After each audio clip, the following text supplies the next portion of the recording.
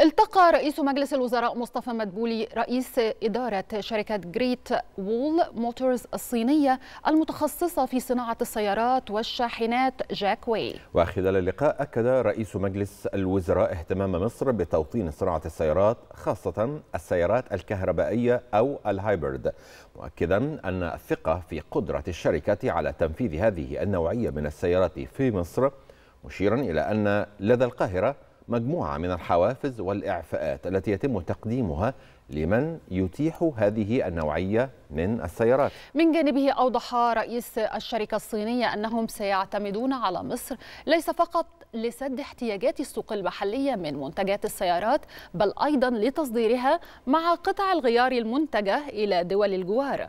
بفضل الاتفاقيات التي وقعتها مصر والتي تمثل حافزا مهما لتشجيع التصدير منها.